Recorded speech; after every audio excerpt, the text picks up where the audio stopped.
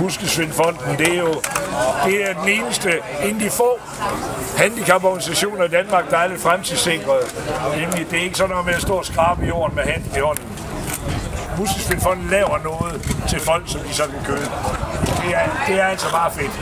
Det er bare skide fedt. Og så har Muskelsvindfonden også selv forskning.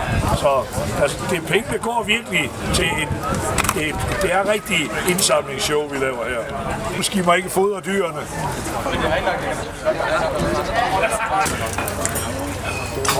Fire statsmagt.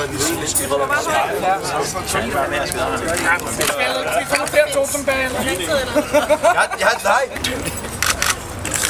Jeg skal spille i Tyrkiet her snart, så Ja. tager Christoffer med der. Ja, ja. Jeg tog med ham til Barcelona, og han skulle spille der. Ja. ja, det er når man er to musikere, ikke? Altså, hvordan gør I det? Jamen, det er perfekt. Ja. Det kunne ikke blive Det er perfekt, bedre. ja. Og det er det. Fordi vi forstår hinanden. We know the game. Ja, ja.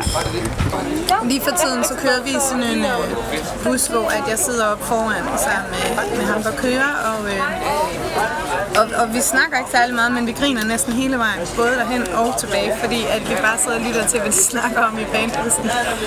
Og øh, her i lørdags, da vi så skulle hjem, nej, hvor, hvor vi skulle fra det ene sted til det andet sted, det eneste tidspunkt, jeg lagde mærke til, at vi ikke grinede på, det var da alle i bandet skulle tisse.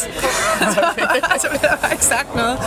Ej, det er virkelig sjovt. Ja, det har godt skulle vi spille i Hamburg og tilbage. Altså, jeg grinede hele vejen til Hamburg, og jeg grinede hele vejen hjem igen også. Og de er virkelig sjove.